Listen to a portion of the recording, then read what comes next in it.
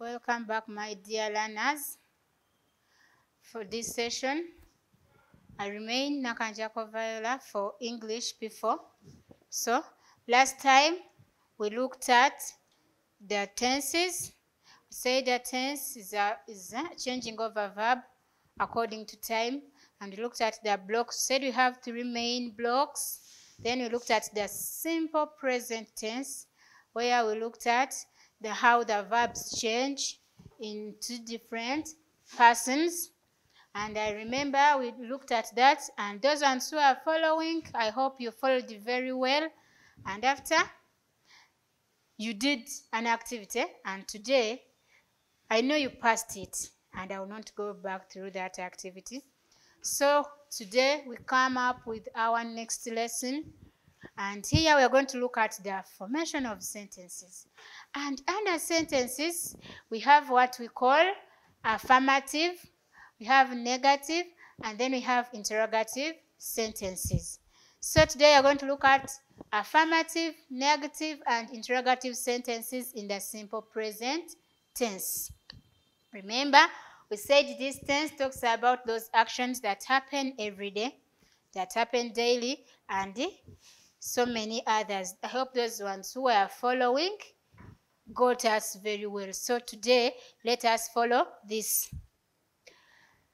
Aha. So we say when we talk about affirmative, it means positive.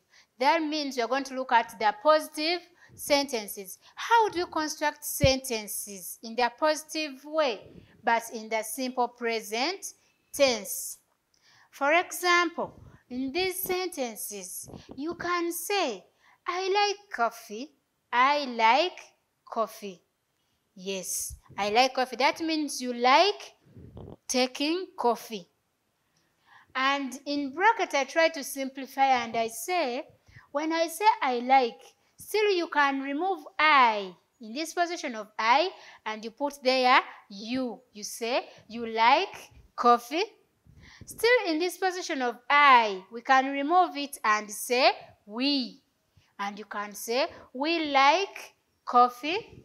Still in this position of I, we can replace it with the they and we say they like coffee.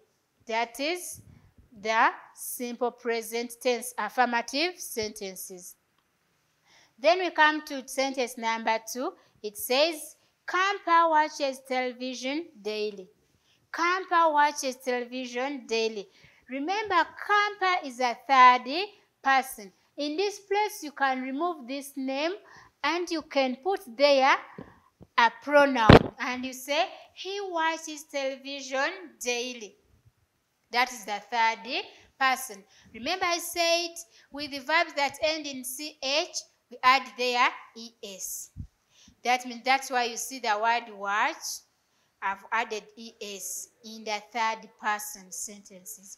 So here you can say, he watches television daily. She watches television daily. It, even it here can also work. Or you can put any other name, James, Jimmy, Jane, and so many others. You can say all can fit in this sentence. So these are affirmative sentences. So we are looking at these affirmative sentences in the simple present tense. And those are the sentences you always use. Now, we said we are looking at affirmative, which means positive, and then look at the negative. So we are saying, in the negative sentences, we use the word not. In order, in order to make a sentence negative, there must be the word not.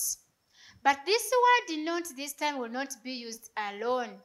We shall have to use a helping verb do. That means in our negative sentences, we shall be seeing the word do.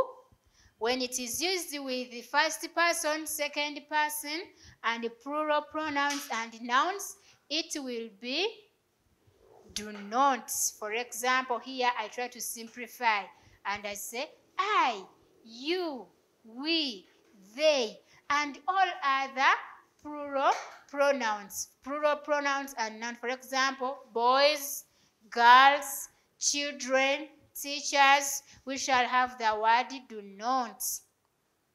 And third person pronouns, he, she, it, and singular pronouns, sorry, singular nouns. John, Jack, Cisse, Betty, does not. So we are simplifying. I was saying when we are using you, I, we, they, we say do not. And when we are using he, she, it, and other singular, singular nouns, we shall say does not. As in our examples here, in the examples of the sentences we have.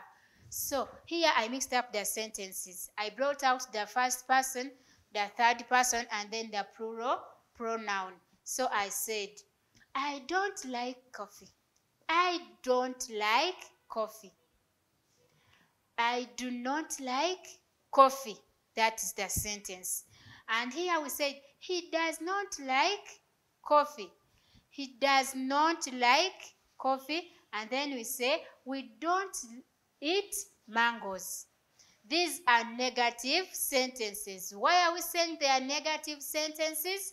The, the use of the word not shows that the sentence is negative. That means when you bring a coffee to this person, this person will not take it because he doesn't like it. And we said we can use the short form of do not. Do not, and the short form will be don't. For example, in our sentences, we said, we don't eat mangoes. It is the same sentence, but here we have shortened do not to don't. And we are saying, we don't eat mangoes. I don't like coffee in the short form. That means the short form here, it is a space. Do not. And here we don't have a space. This apostrophe here means there is a letter being omitted here. So that becomes a short form. Here the short form of does not is doesn't. We shall say he doesn't like coffee. She doesn't eat fish. That means when you bring fish to this person, this person will run away because doesn't eat fish. So these are the negative sentences. When somebody asks you, what makes a sentence negative? It is the use of the word not. We continue. We said we're having three sentences, and here we are having the interrogative sentences. Interrogative sentences, these are sentences which ask a question and require a response. In some cases, we call these sentences the yes and no sentences because their response is yes or no. When you ask a sentence in interrogative using these helping verbs, always the answer will be yes or no. So sometimes we call them the yes or no questions. These ones here that we are dealing with now. So, interrogative. What makes it an interrogative sentence? One, it begins with a helping verb. Two, it ends with a question mark. That means we need a response. That's why we call them question form. They are questions which need answers. So we are saying we use the helping verb do to ask the question. In the present simple tense, we use the helping verb do to ask the question. But it is not that we use do only, but do has its forms like does.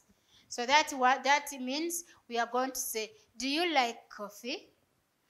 Do you like coffee? We end with a question mark. So what do we expect? We expect you to tell us, yes, I like coffee, or no, I don't like coffee. In this case, so we come to, does she like coffee? If you know how much, you will tell us, no, she doesn't like coffee. Or you will say, yes, she likes coffee, according to the question we come. Don't you like coffee? I come, I find you there. you are doing nothing, then I ask, don't you like coffee? You tell me, no thank you, oh yes, thank you, uh in a polite way. We come, we are here, we are saying, doesn't she eat fish? Maybe you are in the kitchen preparing for the visitor, and in the fridge you have fish. And then you will ask, you are busy preparing, and your mother will come and tell you, but you are preparing fish. And you will ask, doesn't she like fish? Or doesn't she eat fish? Then we shall expect an answer either to be yes or no. Are we together? So, according to this, these are the negative, sorry, the interrogative sentences. We said interrogative sentences in the same way they can be questions which require an answer. What makes them questions? The use of a question mark in these sentences. So that we have looked at the affirmative, we have looked at the negative, and we have looked at the interrogative sentences in the simple present tense. So I'm going to leave you with an activity and this activity will not be much because it is just changing five five sentences to negative, affirmative and then to interrogative sentences. Thank you so much. Stay safe.